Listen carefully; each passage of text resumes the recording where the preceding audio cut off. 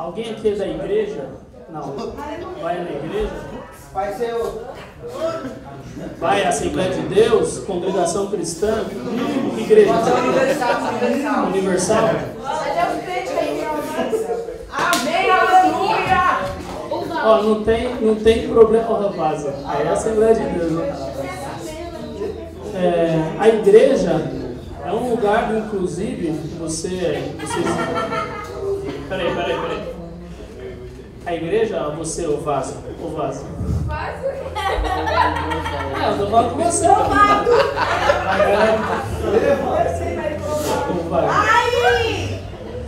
É, a igreja é um lugar maravilhoso para vocês aprenderem o instrumento. É, independente do, do- de vocês acreditarem ou não é, no que é falado, principalmente a, a congre- muito músico, muitos dos músicos assim que acompanham os principais artistas hoje do Brasil saíram, saíram da igreja. Saíram de músico de sopro saiu da congregação cristã, que é uma, uma igreja famosa por, por ter orquestra e tudo mais, é, violinista, é, músico que toca violino, cello, é, baixo acústico. É, saíram, é, no caso de bateria, muita gente saiu da Renascer, é, da, I- da Batista, enfim. É, é um, é um lugar muito legal da Assembleia de Deus. É, é um lugar muito legal para você aprender um instrumento e, enfim, mesmo que você, você não acredite na doutrina ali, no que eles falam, que você acha meio, meio esquisito aqu- aquele monte de mistério lá, e nego falando em línguas e tal, por, mais expulsando demônio, tira daqui, joga pra lá, né? Uma maluquice, né? Mas é, tá amarrado, aí amarra, aí desamarra, aí é glória, aí é bênção, aí é rir pra lá pra trás, e aleluia, aleluia, aleluia, aleluia, aleluia. É, é um monte, uma coisa, ô labassura, siri canta lá na praia, e o caramba, né? É, eu penso tudo isso daí, É, rapaz. lá na praia. É, o Siri canta lá na praia, né? É, é o, o, monte é, e as irmãzinhas saem, saem com um aviãozinho, né? E e. Por mais esquisito que isso seja, era esquisito na minha época também. Eu também achava meio, meio misterioso isso daí. É, eu achava bem, bem estranho isso daí. Mas mesmo assim a igreja, mesmo assim a igreja, Hoje eu não vou mais. Hoje eu não vou mais. É, mas sou desviado, né? A galera fala que eu sou desviado. Né? Apesar de eu ler a Bíblia é, semanalmente, assim, às vezes eu congrego né, com a minha mãe, por exemplo. Minha mãe gosta, fica toda feliz quando eu vou na igreja, né? Então, eu- às vezes eu, eu vou com ela, assim. Mas o, o- a igreja foi um lugar muito interessante, muito interessante é, para a coisa da, de você desenvolver um instrumento mesmo. Porque você está fazendo uma prática em conjunto ali, tocando, tocando com outros, outros músicos e se relacionando, e muitas vezes vai a, uma irmã lá, um missionário de, de outro, outro estado e começa a cantar a música, você tem que sair acompanhando ele do nada, né? É, sem saber a harmonia, sem saber a melodia, sem saber o ritmo, ele sai cantando, você tem que perseguir ele, né? É nem acompanhar. Você, vai perseguindo ele. Então, esse tipo de coisa que acontece na igreja, é, quando, gente, quando e normalmente a gente vai quando é menor, é, é uma é uma coisa que depois muita gente vai, pra, vai pagar para ter numa, numa faculdade de música. Depois um monte de gente vai pagar assim, pô, eu preciso fazer uma aula de, de prática em conjunto. Elas vão lá para uma faculdade de música pagar, uma coisa que, que você tem a oportunidade de aprender na igreja e ainda deixar sua mãe feliz, né? Porque sua mãe vai ficar feliz, né? Se vai na igreja, tudo bonitinho, né? É, mas eu vou tocar um pouco aqui. A- Além, além, além do mais, a igreja, a igreja também, é, principalmente essas mais, mais roots, assim, mais da periferia, tipo Assembleia de Deus, Ministério Belém, essas coisas, eles têm, ele tem muitos ritmos, muitos ritmos que vêm, ironicamente, é, da tradição afro-brasileira, que é da onde, onde vem praticamente todos os ritmos do nosso país. É, então, então, quando você se ouve um, um hino, um hino, por exemplo, da Assembleia de Deus, quem, é, quem já foi aqui é, é, sabe, aonde, você, aonde Jesus está, alguma coisa acontece, né? Um forrozinho, que é um forrozinho. Quê? É, já ouviram isso daí? É, não, não vou cantar. Mas um monte, um monte. Não, senão você vai cair demoniado aí. Tô brincando, brincadeira.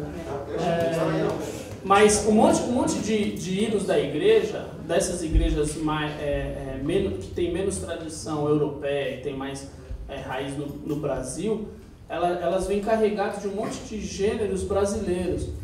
Por isso que é muito é, é comum, por exemplo, você ver uma uma é, uma pessoa em êxtase espiritual numa Assembleia de Deus que, que é muito parecido com o movimento da incorporação da pombadilha, por exemplo.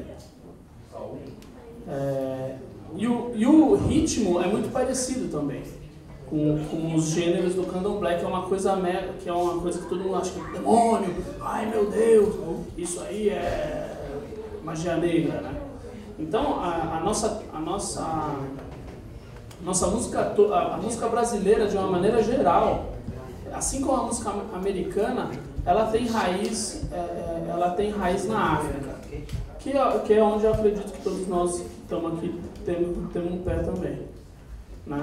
É, e que é o lugar, ironicamente, é o lugar sempre que você está sendo marginalizado. Né?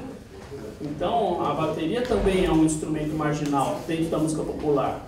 É, é comum onde falar assim, ah, tem um músico e tem um baterista, né? O baterista é o melhor amigo do músico, né? Porque você não toca melodia, porque não toca isso. Mas um samba só é samba porque existe um instrumento de percussão de bateria que fala que o samba é o samba. O forró só é forró, o baião só é o baião, o ijexá só é o ijexá, porque existe a, é a variação rítmica tocada pela bateria ou pela percussão que indica que esse, ritmo, esse gênero é esse gênero. Então eu vou tocar um pouco aqui, é, porque eu já falei demais.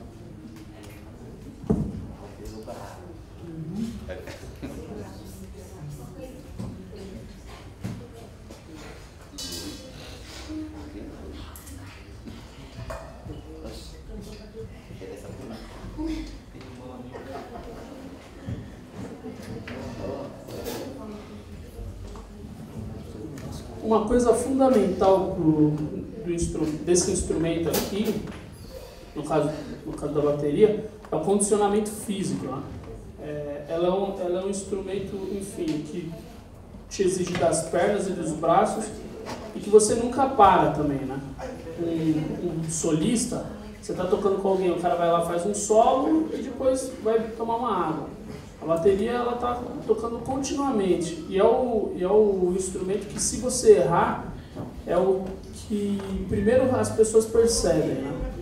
É, então, para você executar, executar bem esse instrumento, você precisa de muito tempo repetindo as coisas.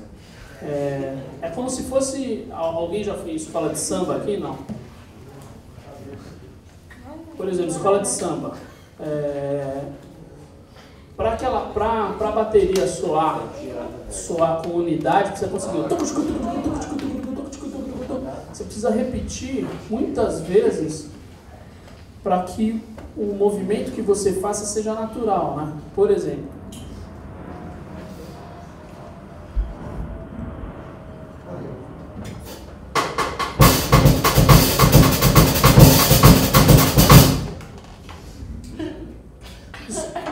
isso, aqui eu posso.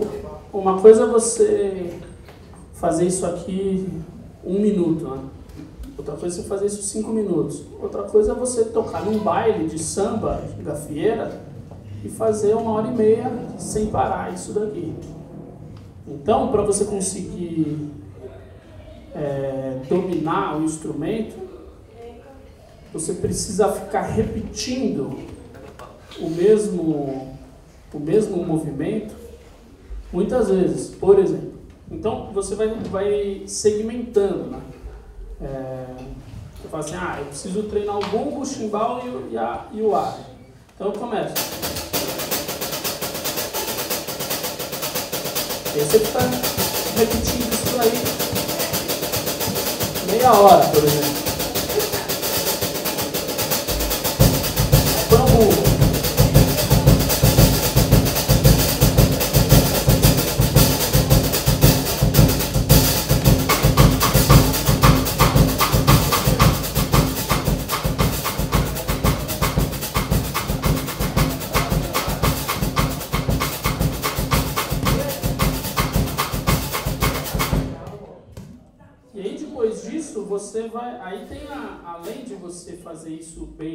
Em um determinado andamento, você precisa conseguir fazer isso bem em vários andamentos. É, então você fala, ah, ok, vou fazer isso um pouco mais lento, ver se eu consigo. Aí você faz o mesmo processo.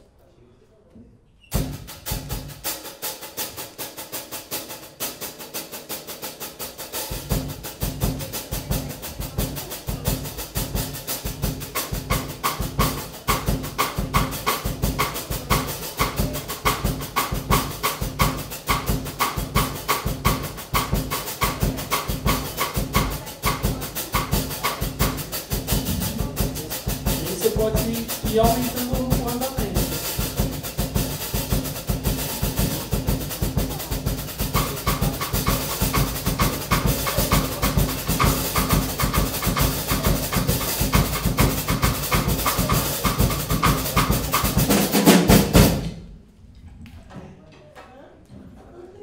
E aí, depois disso, isso aí é um gênero, né? Você fez isso com um gênero. Depois você começa a ter que fazer isso com outros gêneros. Então, o conselho que eu dou para vocês é que quanto antes vocês começarem, é, melhor. Porque é muita coisa para estudar. Mas o que eu digo, parafraseando Shakespeare, o que eu digo é que se você amar o que você faz, é, você nunca vai ter um dia de trabalho, sabe? Você nunca vai ter uma profissão lá. É, quando eu vou escrever lá no, no formulário profissão, eu coloco músico, mas para mim a música é muito mais do que a profissão. Quando eu estou em casa, poxa, hoje eu não vou tocar, não vou dar aula, não tem show, não tem nada, eu sento no instrumento para tocar. Ah, por quê? Você não precisa, você, não, você precisa sentar no instrumento? Não, não precisa, é porque eu gosto mesmo, porque faz sentido para mim, porque ele, eu converso com ele, eu, é uma outra história, assim, sabe? É, então, então, talvez tá na hora, não? Não? É, uma, uma coisa fundamental é, é você amar o que você faz mesmo. Ah, eu gosto disso. Então não é ficar 5 ou 6 ou 7 ou 10 ou 16 horas em cima do instrumento não é penoso. Mas saiba que se você estudar uma hora por dia, é, dificilmente você vai conseguir se tornar um profissional. Isso é importante ser, ser falado. Porque normalmente as pessoas não falam isso. Normalmente as pessoas, ah não, estuda aí. Quanto, quanto, quanto você consegue estudar por dia? Ah, consigo estudar 40 minutos. Ah, tá bom. É, tá bom. É, você pode começar, né? Ah, vou começar com uma hora por dia. E aí você vai pegando gosto, mas saiba que em algum momento você vai ter que. Isso é, isso é, um instrumento vai ter que ser uma, uma tônica ali na sua vida, vai ter que ser uma prioridade.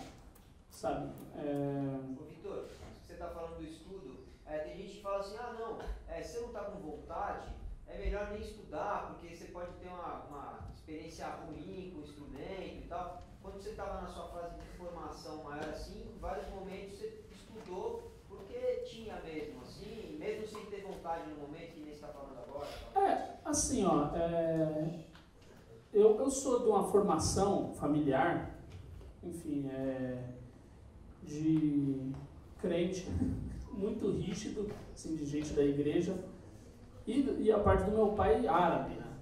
Então, não, não, não tinha muito essa assim, ó, ah, o que, que você está afim de fazer? Ai, não, não pode fazer isso, senão vai traumatizar a criança. Não, só, não, tem, não tinha isso. Quando eu, quando eu tinha sete anos, minha mãe falou assim, ah, você, ela, ironicamente, ela leu uma reportagem, ouviu, ouviu na TV, não lembro, uma reportagem que falava assim, ó, pô, é, xadrez e, e música desenvolve a cabeça da criança. Aí minha mãe, na simplicidade dela, eu não quero ter filho burro. Então aí chegou pra gente, pra mim, pro meu irmão, e aí? É xadrez ou é música? Aí a gente falou, porra, xadrez, a gente não é, acha melhor música, né? Enfim, aí ela pegou um tecladinho emprestado ali da, do meu irmão da igreja e falou assim, não, vai estudar. E era o começo de, dessa coisa de videogame, assim, tinha o Atari, né? É, e, e, e aí só tinha uma, tinha uma coisa assim, ó, se quer jogar videogame tem que estudar. Se não estudar, não, não tem videogame. Uma coisa meio de compensação, assim, sabe? É, então, é, pelo menos, sei lá, os cinco primeiros anos da minha formação musical, eu não estudei por vontade, assim, nossa, eu gosto muito de estudar, pô, que a música, nossa, como me realiza, eu perco a hora vendo, estudando. Não, é, era uma coisa até obrigada pela minha mãe, assim, porque ela sabia que aquilo ia ser, um, ser fundamental pra gente, pra mim e pro meu irmão, né? E, ironicamente, um dia ela viu que ela não precisava mais obrigar a gente. Ela viu que a gente ficava no instrumento naturalmente. Né? Porque criança ou adolescente não quer fazer nada, né? Não quer nem ir para a escola, não quer fazer nenhuma. Né? Só quer bagunçar.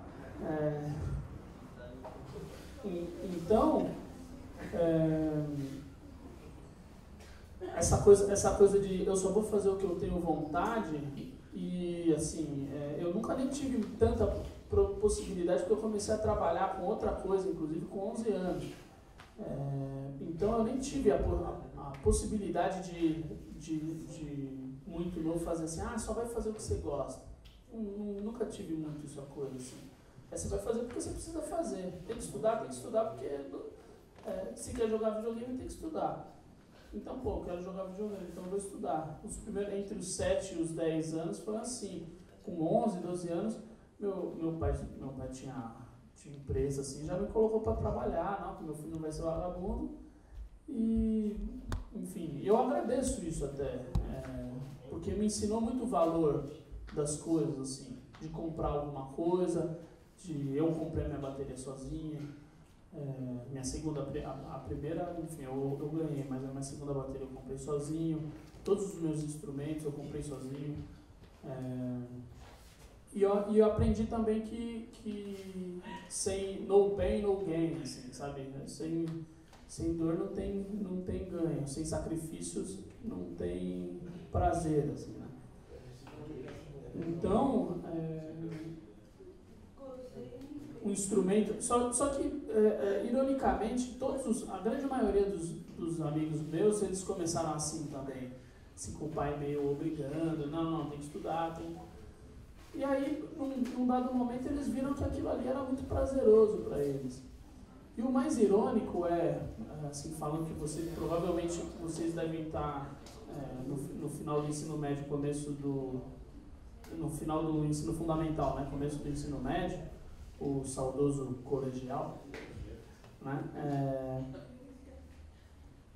eu tinha, tinha, eu tinha um monte de amigos na escola, assim, que eram os descoladão, assim, sabe? É, que eram os caras que, pô, o cara é, é músico, puta babaca, é, e, ironicamente, esses caras que eram os mais descoladão, aí é até é engraçado porque na época saiu um filme que ficou famoso, Cidade de Deus, né? E todo mundo queria ser um malandrão, é, que aqui é nós, pá, que bagulho é louco e tal.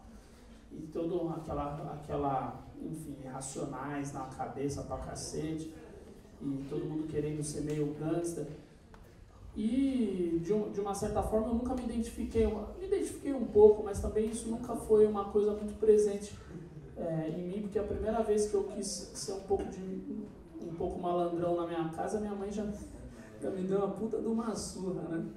É, então, ironicamente, eu, eu fui uma das poucas pessoas, assim, que, digamos, é, é, ali daquela região, que estudaram comigo no ensino médio, que de, subiu na vida, assim, sabe? Que conseguiu sair daquela condição, que conseguiu, porra, é, conquistar alguma coisa na vida mesmo, sabe? É, não só em questões de bens materiais, né, mas questão de conhecimento mesmo, de, de achar um lugar para mim na vida. Né? Um monte deles morreram, outros estão presos, outros, assim, têm 35 filhos, né? os caras, é tudo meio perdido, assim. E a música, nesse sentido, me deu esse lugar, assim, me deu esse lugar de disciplina, de centrar, de saber, pô, ó, isso aqui é certo, isso aqui é errado para você cons conseguir alguma coisa, você precisa lutar. É, então, é, nesse caso, eu posso dizer que eu sou a pessoa mais sortuda, assim, entre aspas, do mundo, assim, de ter podido começar. E eu acho que vocês também são, são é, muito privilegiados porque eu, na minha época não, nem existia ONG, é, vocês são muito privilegiados de, de terem acesso aí com os caras legais pra caramba, tipo o Lucas, a turma toda aí, é, acesso à musicalização e tudo.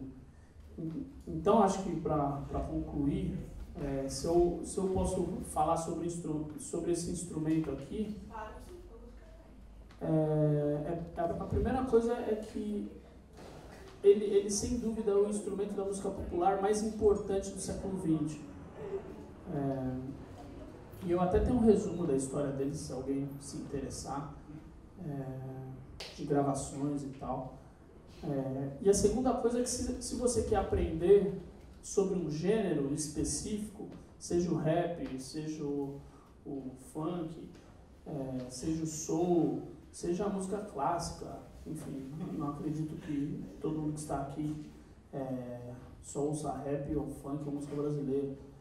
É, mas o que, você quer, o que você quiser aprender, no caso da música, a primeira coisa que vocês precisam sabe, é, é fazer é ouvir os discos. Procurar ouvir os discos.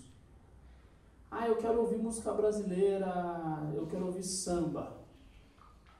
Eu indicaria os todos os discos é, do Wilson das Neves, por exemplo, para começar.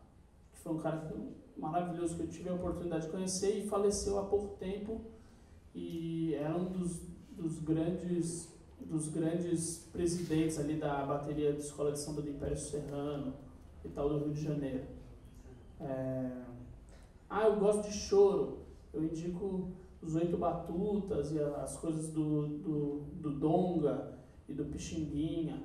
Eu gosto de, eu gosto de rap. Eu indico as coisas lá atrás, Wu-Tang Clan, é, os primeiros caras, The Roots, que, é, que são é, que é um dos primeiros grupos que surgiu com, com, com o rap com banda, sabe? Como os caras faziam? Pô, hoje vocês têm a internet, é, vocês têm os professores aí, então vocês podem é, vocês podem dissecar esse instrumento assim de uma maneira é, muito mais privilegiada, sabe?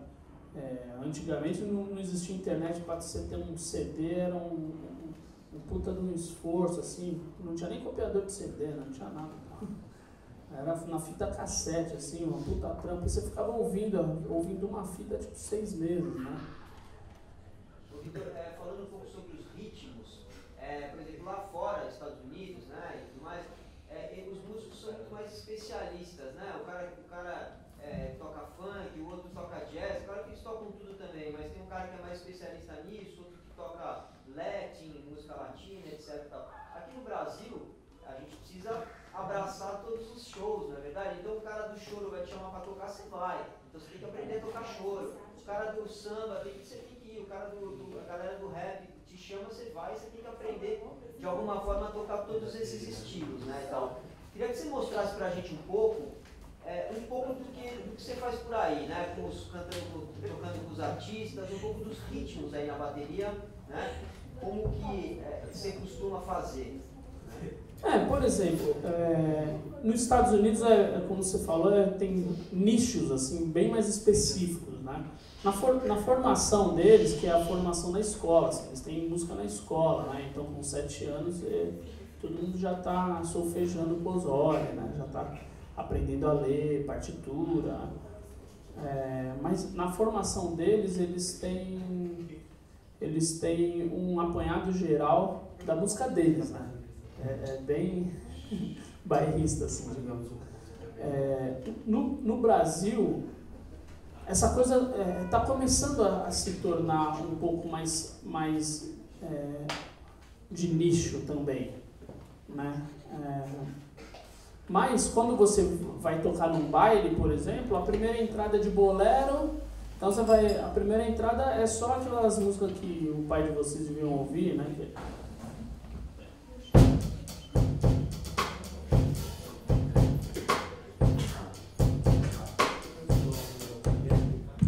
Aí, aí muitas vezes emenda isso daí, emenda isso daí com, com um shot, né, que é o, andamento ali parecido. É Pense nisso aqui, ó.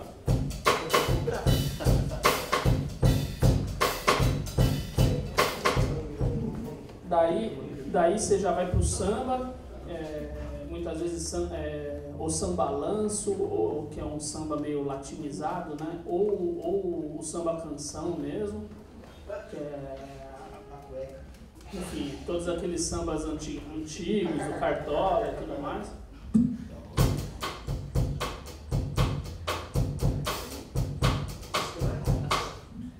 Disso você vai para muitas vezes para samba enredo, aí tem uma pausa, por exemplo.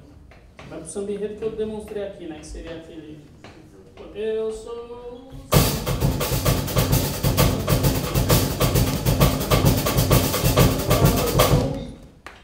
Daí para mais, né? O andamento, né?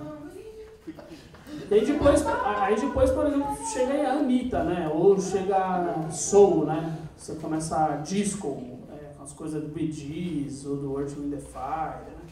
Que seria meio assim.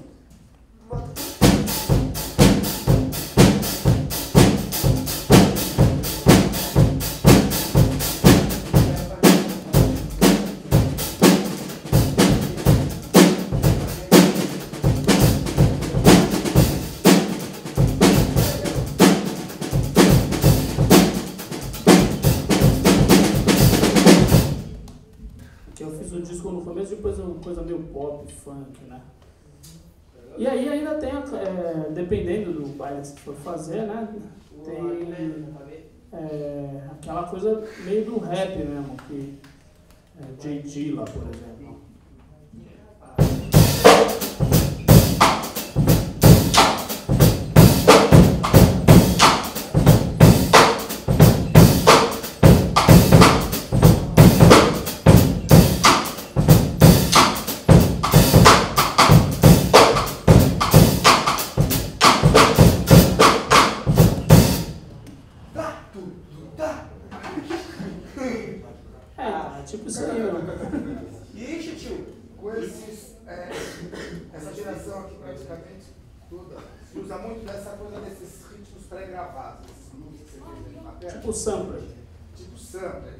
Mais ou menos tem uma categoria de shows que você vê que não tem bateria, né? Deveria ter, quer dizer, poderia ser legal, eventualmente tem. Mas perdeu-se espaço da bateria, nesse, de uma certa forma, você sente, você tenta dialogar com esse universo, não faz sentido ter um instrumento ao vivo junto com essa rapaziada. Tem um menino aqui, por exemplo, que improvisa pra caramba, e eles sempre brincam de colocar um grupo, mas é, esse grupo porque já está preparado. Têm... É que tem uma coisa, uma, uma ausência do Brasil. É, eu, eu, por exemplo, trabalho com, com um rapper, que é o Black Alien, que é, que é um, um participou do Planet Ramp durante muitos anos e tal. É, eu, Planet Ramp do 2, né? Isso, isso aí, não. É, por exemplo, eles. É, é uma, é uma coisa meio generalizada, assim, dentro do rap, por exemplo, que foi o gênero que inseriu essa coisa do beatmaker, né? É um cara que, que só faz beat, né? só faz batida. É... Eles sentem, eles sentem falta, eles sentem falta da pressão que o, que o, o beat que você consegue com o MPC, né? Todo mundo sabe o que é o MPC aqui? Sim, mais ou menos. MPC é um, é um, um hardware, né? É um, é um aparelho que é, é, um aparelho que você que tem um monte, um monte de, de timbres é, presetados, né? Um monte de timbres dentro dela e você e você monta os beats. Então a grande maioria dos, dos beats de rap que vocês ouvem que não são tocados são feitos no MPC. É... Você poderia ligar a sua bateria eu, eu poderia trigar, é, mas o, o, o, grande lance do rap é, é que ele deu a, a, possibilidade de quem não toca o instrumento fazer um beat. Né? Você não precisa estudar o instrumento para fazer um beat. Você, você começa a, a ter os tal dos produtores de rap que eles vão só, eles são uma espécie de costureiro da música. Então eles ouvem, eles ouvem. Eu, eu mesmo já gravei muitos beats para produtor. Que os caras ouvem e, e, aí eles cortam esse pedacinho e montam esse pedacinho com outro pedacinho do outro lado e vão e criam uma base para alguém fazer rap. Mas o, o, ironicamente, é, nos anos 80, final dos anos 70, o rap começa com os, os beatmakers, né, os DJs, é, sampleando, sampleando é, é, os discos, né? Por exemplo, a bateria acústica. É, pô, um exemplo clássico é aquele aquele do Snoop Dogg lá é, que tem um monte que tem um monte de, de animaçãozinha assim no, no, no YouTube ou no Facebook eu, esqueci, eu não lembro a música agora que é o clan clan clan clan clan clan que vem óculos e tal é, isso aí é uma, é uma gravação é uma gravação da Blue Note dos anos 60 como é que é o groove aí é, original mais ou menos ah, por exemplo, ele pega um riff da guitarra que eu, que eu, que eu não sei se é, eu acho que é do Russell, do Grant Green, o, o riff da guitarra. E, e, é uma música com orquestra, cacete, assim, tem coisa pra chuchu. É, e tem uma, e tem uma batera, uma batera assim, ó.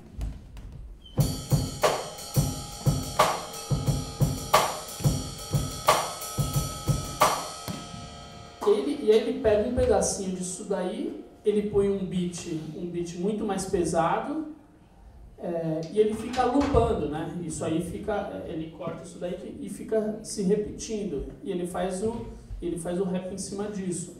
É, ironicamente, depois de tanto eles, de tanto eles editarem, com o surgimento dessa, desse hardware, né? Desse equipamento chamado MPC, eles começaram a misturar, a misturar beats eletrônicos com samplers.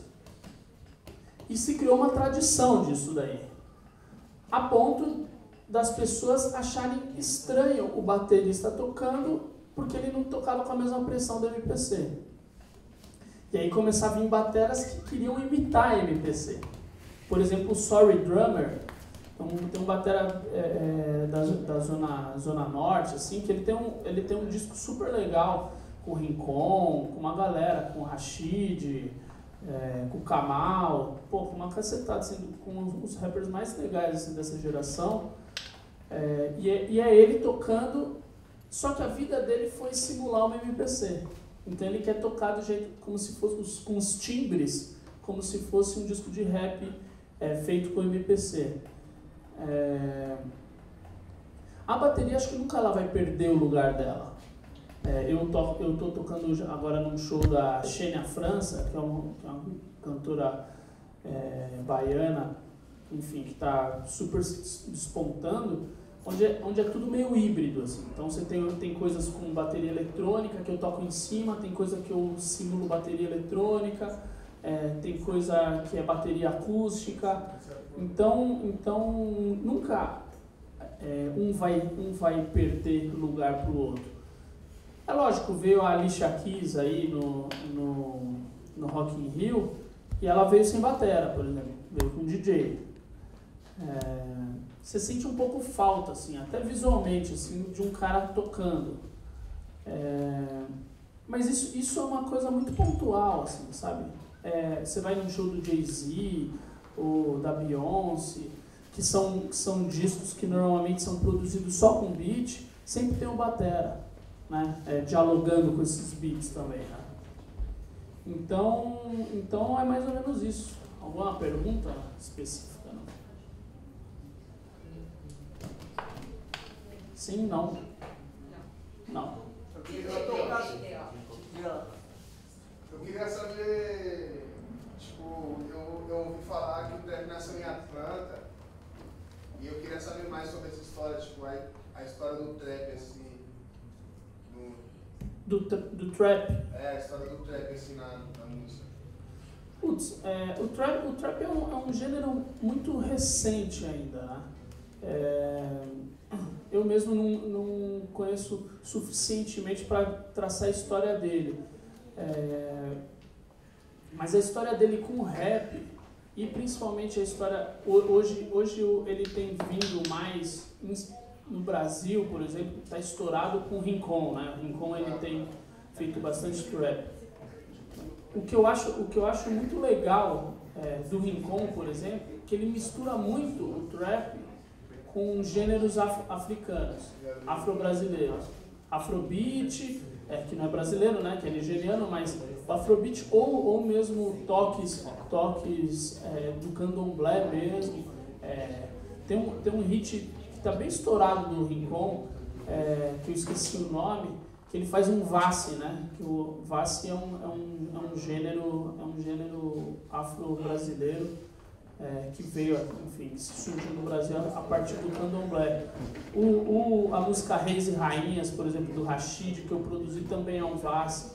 É, então, o trap, eu, eu me parece que, é, que vai ser a, é o the new thing, assim, né? Que, que a galera fala, assim. É a coisa nova, assim, que vai que vai pegar. Eu acho que ele. Eu, eu acho. Pode ser usada essa profecia, né? Mas me parece que ele vai entrar no lugar do funk carioca até. Você acha que vai virar uma cultura assim, ou vai ser pop, na sua opinião? Vai ser uma coisa mais pop ou uma cultura mesmo de que vai permanecer? Putz, é difícil, falar, é difícil a gente falar sobre alguma coisa que permanece hoje em dia, né? Porque é tudo tão rápido, né? as coisas vão se. Vão se é, na medida que elas vão se tornando algo, elas já são substituídas. Mas eu acho que o trap ele vai ter, ele vai ter uma força muito, muito próxima é, da que o funk carioca ganhou. Tudo bem que o funk carioca, eu acho que o funk carioca ele ganhou muita força a partir dos anos 2000 com o Proibidão, né? É, porque assim, eu lembro de 95, por exemplo, ouvi funk carioca. Já ouvi, né, na periferia. É, mas, mas o fato de, de ter uma letra onde fala um monte de putaria, assim, coisas meio proibidas, é, entre, a, entre a juventude, assim, a, a galera acha mais curioso, né?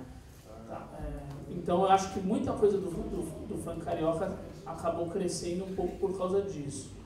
É, eu acho que o trap pode, pode ganhar uma, pro, uma projeção tão grande quanto o funk carioca, é, mesmo, sem, mesmo sem apelar, é, apelar não, né? mesmo sem essa característica é, é, de, de falar umas baixarias, assim, como diria minha mãe.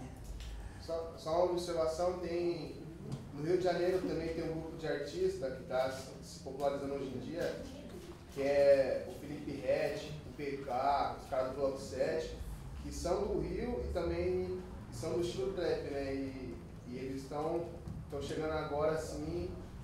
É, o Rio tá vindo com uns rappers também, né? Você pega. Quer dizer, tá vindo, né? Você, você pega o Marechal, por é, exemplo. Claro, o Marechal. Que é, um, que, é um, que é um cara das antigas até, né? Sim, claro. é, você pega o Marechal ou o Golden. Porra, tem uma molecada que o Marechal mesmo gra gravou. É, Costa Gold. É, ou, ou mesmo o Raikaiser, que o Raikaiser acho que não viu, né?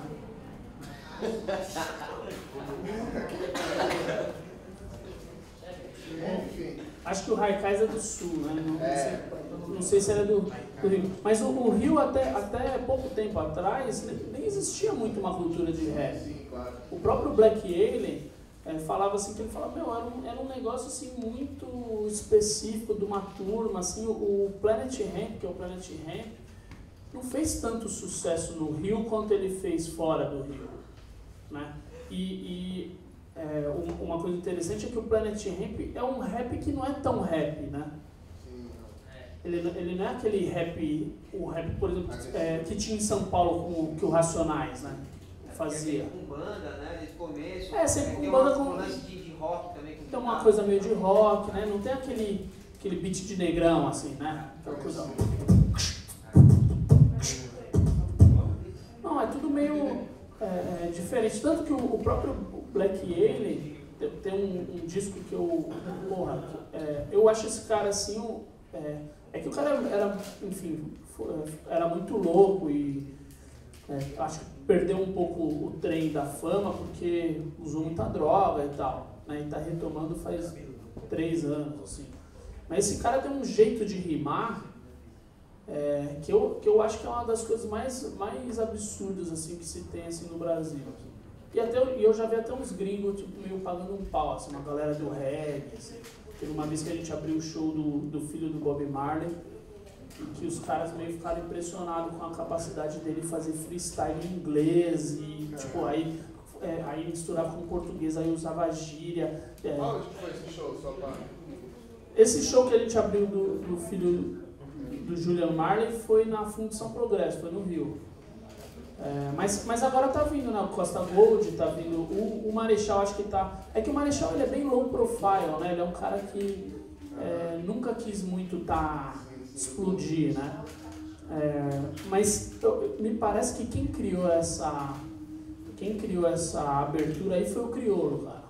O Criolo ele deu uma abertura pro o Criolo e o Emicida, eles deram uma abertura pro rap que ele deixou de ser música uma música de periferia, sabe? Você pode você pode passar na Vila Madalena e, e tá tocando é, RZO, por exemplo, sabe?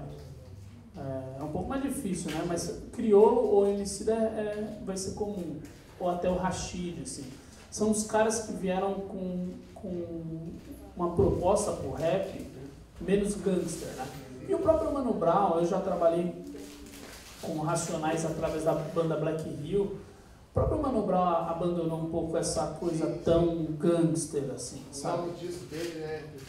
É, o novo disco dele fala um monte, de, um monte de canção de amor, né? Tudo fofinho. É o Mano Brown fofinho. né? É cheio de soul, R&B, música dos anos 70, né? É, então, a minha esperança, por exemplo, é que que o trap não precise passar por, é, por esse lugar gangster, assim, sabe? Porque todos os caras que passaram, é, é, quem tem Netflix pode ver, tem um documentário do Snoop Dogg muito bom, cara é, que quando ele muda de, quando ele vai para Jamaica, muda de nome e tal. E Snoopy Lion. E tem um e tem um documentário também do do Jay Dilla, não, do Jay Dilla não. É, do, puta, esqueci o nome. É, não é do Dilla. Ah, bom, esqueci o nome. Tem uns dois ou três documentários de rap dessa galera que era do gangster, assim. É,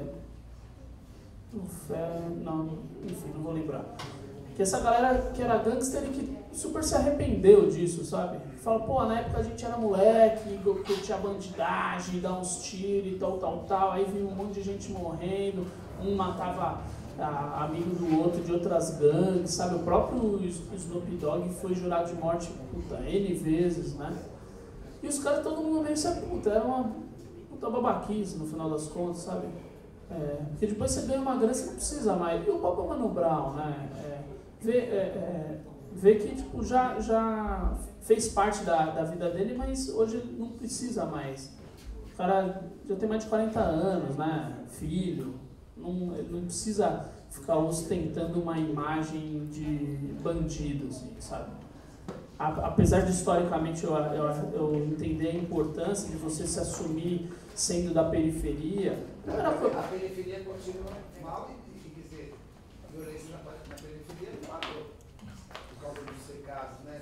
É, não parou. E assim, hoje, hoje por mais. É, é, por mais que a, que a periferia continue sofrendo, hoje você tem uma, você ainda, você, principalmente no centro, nos grandes centros, você tem, você tem, uma possibilidade também de sair disso daí, sabe? É, você, a gente está numa ONG aqui, sabe, que te dá uma série de possibilidades que eu, que eu não tive, por exemplo, sabe? E eles deram esse recado e um monte de gente morreu e, e aí, né, assim, não, não, não que não seja importante falar de uma realidade da periferia. É, eu acho que é fundamental, mas o Cartola também falava, né? É, o, o, samba também falou durante muitos anos disso, né? Eu acho que o, o é, ca, cada um tem que fazer o que faz sentido para si, mas eu fico feliz do rap ter assumido, ter assumido lugares que são lugares é, que falam, que acreditam na vida, assim, sabe? É, a minha mãe, a minha mãe sempre, sempre falou muito sobre isso, sobre por mais difícil que você sejam as coisas, você precisa acreditar que as coisas vão melhorar, sabe? Que elas podem melhorar e agir de acordo disso, com isso. E quando eu fui produzir, quando eu conheci o Rashid e fui produzir o disco dele, por exemplo, que é a Coragem da Luz, é, eu, eu fiquei feliz de ver ele, de eu ver ele despido mesmo, assim, de, dessa coisa. Por mais que você tenha sofrido, assim, é, você, você abandona um pouco no final das contas, a maioria, a maioria é, das pessoas que, que curtem essa coisa meio de bandido nem são bandido mesmo, né? É, curte o estereótipo de, né, pô, agora você vai ver, mano, qual é que é, é louco, mano, fala esse trem comigo. É. Mas, mas o rap, o rap, eu acho que, acho que já passou essa fase do rap. Tem, alguma, tem uma galera ainda que, que curte isso. É que aqui é nóis, mano anda no estreito aí que é PCC, que bagulho é louco, sabe? Que, mas que. E aí, né? E depois, é, eu acho que é mais uma forma de tentar se defender, assim, sabe? De, é, de não mostrar que no fundo ele é essa pessoa é frágil, sabe? É, como todos nós somos, né? Porque no final das contas, é, todo mundo se tomar um tiro vai morrer, né? É igual, né? O machão ou o covarde, né? Então é mais ou menos isso que, eu, que a gente em falar aí com o Luquinhas, a minha experiência com, com a bateria passa muito pelo, pelo rap, é, pelo jazz, pela música brasileira. E é isso aí então. Ô Vitor, cara, queria agradecer muito sua presença. Mais uma vez, você vai sair vai tocar com quem agora? É um evento, é isso? Vou tocar, vou tocar com um cara que eu considero um dos maiores músicos do Brasil e arranjadores do mundo, que chama Alexandre Mihanovic, que é um, é um exemplo, por exemplo, é um exemplo, por exemplo. Vai fazer jazz com ele, né? Vamos, vamos tocar jazz. Tá. Mas esse, esse cara, por exemplo, é, eu, eu lembro que quando eu tinha 20, 23 anos, eu ganhei uma bolsa presidencial na Berkeley, né? E que é uma das faculdades de música de mais nome e tal, né? e nenhum brasileiro tinha ganhado isso daí, né? Então, nossa, o primeiro latino-americano a ganhar a tal da bolsa e, e, tal, tal, tal. E aí eu lembro que eu fui me aconselhar com um músico velho das antigas, eu sempre eu fui criado assim, muito pelos músicos da noite, assim, os velhos que tocaram com o Jobim, com o Johnny Alf, com o Djavan. Eu fui falar assim, eu falei, pô, e esse, esse baixista, né, chama Lito Robledo. Eu falei assim, pô, Lito, é, eu ganhei essa bolsa, aí você acha que eu tenho que ir para os Estados Unidos? Então, aí ele falou assim, se você quiser viver lá, é uma boa forma de entrar, né? Mas os maiores músicos que eu conheço nunca precisaram sair do quarteirão da sua própria casa. E ele citou Alexandre Mihanovic.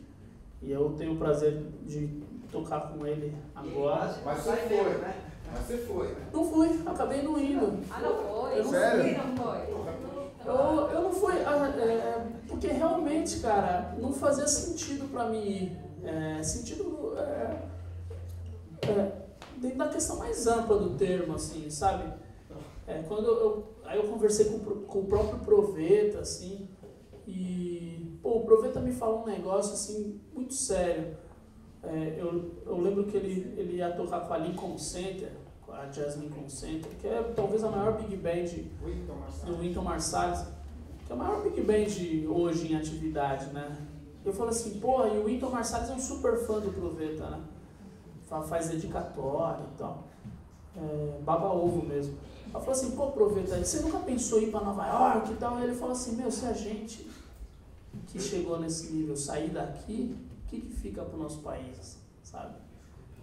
Então, então de, de alguma maneira, assim, o fato de é, a gente ter chegado num nível assim, é, que é diferente, que o que um americano vem pra cá e paga um pau, assim, sabe?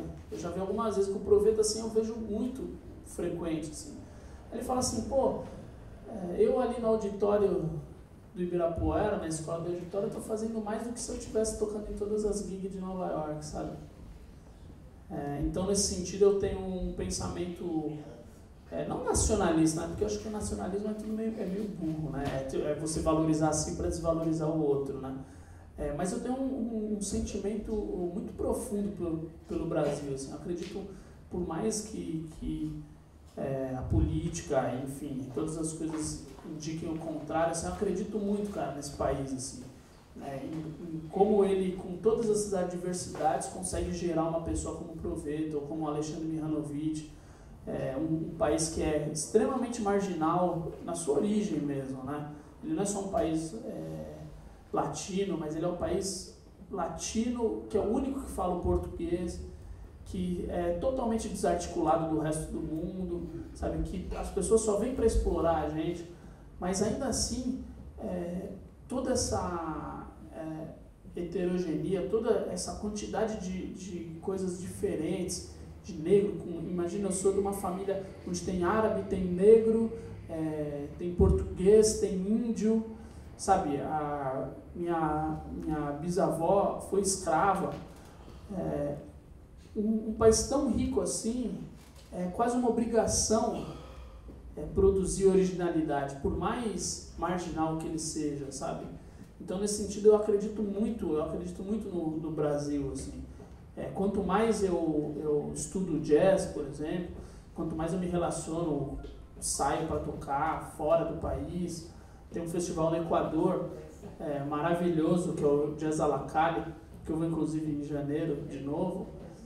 É, assim, aí você vê, você vê assim como, como o, o brasileiro não é ensinado a amar o seu próprio país, sabe? Tem uma coisa assim, o Brasil é um país muito sério, cara. Ele é um, um país com, com uma riqueza assim. É, a gente, é, às vezes, enfim, é, por mais por, por mais mazelas que um comunismo, por exemplo, tenha causado em Cuba, quando eu, quando eu toco com os cubanos, eu vejo, eu vejo que eles dão um valor para a cultura deles assim, que eu falo assim, porra, cara, será que não, será que não seria é, não valeria o sacrifício, né, cara, para o brasileiro de fato conhecer, assim, você vê quando o gringo vem para cá, ele desacredita, assim, ele fala assim, meu, que porra de país é esse, sabe? Onde tem tudo, assim, onde, onde tudo, você anda, você pode encontrar um jazzista tão, tão é, é, é, bom quanto um jazzista americano, aí você atravessa a rua, tá rolando uma escola de samba, e aí você dá, é, desce mais duas ruas, você tem você tem o, é, o forró do, do, canto da Ema, saca? Com o Dominguinhos, quando eu cheguei a tocar com o Dominguinhos lá, sabe? Vendo um cara, um dos fundadores do, do gênero, assim, vivo ali, tocando ali. Ou você pode ir no Ó do Borogodó e encontrar o Zé Barbeiro, que é o cara que, é o cara que fez a história, um dos caras que fez a história do violão de sete cordas, sabe?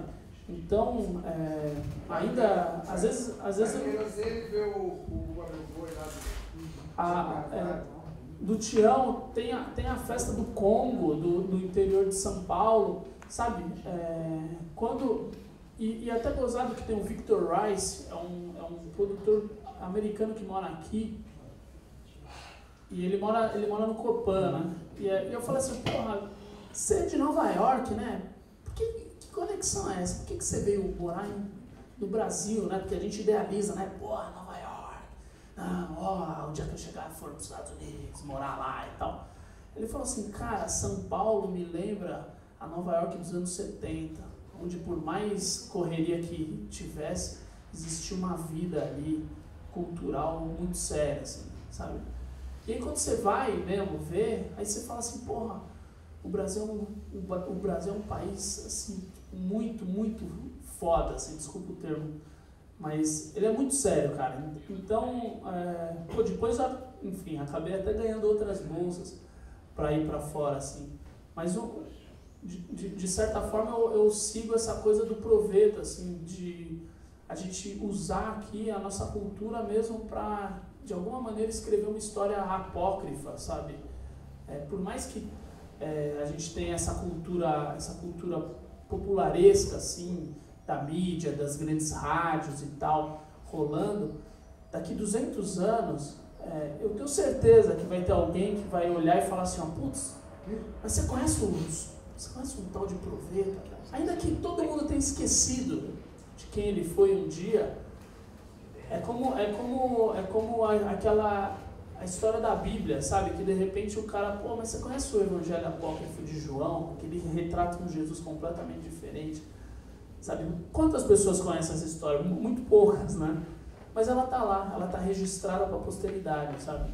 Então, de alguma maneira, é, eu acho que a, a nossa missão é, como, como músico, não deixar que essa cultura se perca. E não deixar que essa cultura se perca não significa, ah, então eu vou tocar só os gêneros brasileiros e eu não vou me relacionar com o rap.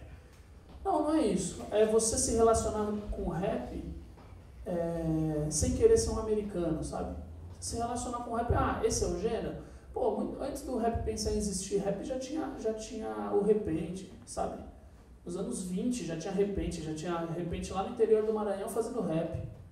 Entendeu? Com, com inclusive é, muito mais criatividade do que muitos rappers. Saca? E, então é, é, ah, mas eu vou me relacionar com rap? For, mas por que eu não posso eu não posso fazer uma coisa híbrida, né? Porque eles sempre vêm aqui e enfiam as coisas na minha cabeça, né? Não, então é rap, é soul, é funk, é jazz, é assim, é assim, é assado. Não, por quê? Não, porque eu não posso dar um pouquinho também? Porque eles gostam também. O próprio Estados Unidos nasceu assim.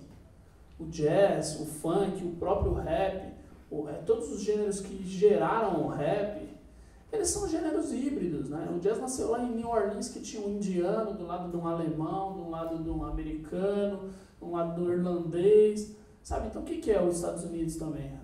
Sabe?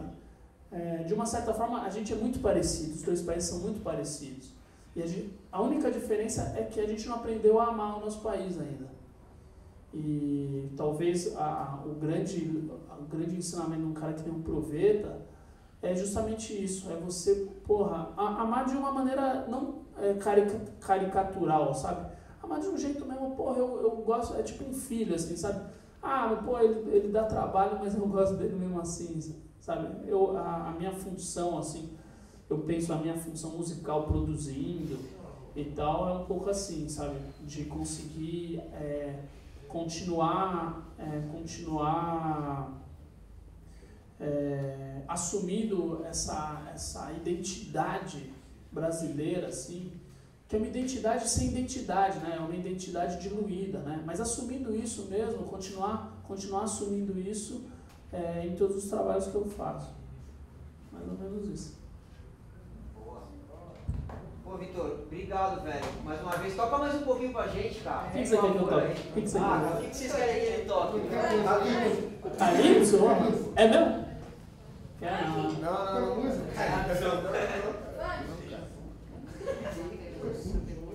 Carioca? Ah, já sei, já sei aqui, ó. Matheus. Corri aí. Qual? Djavan.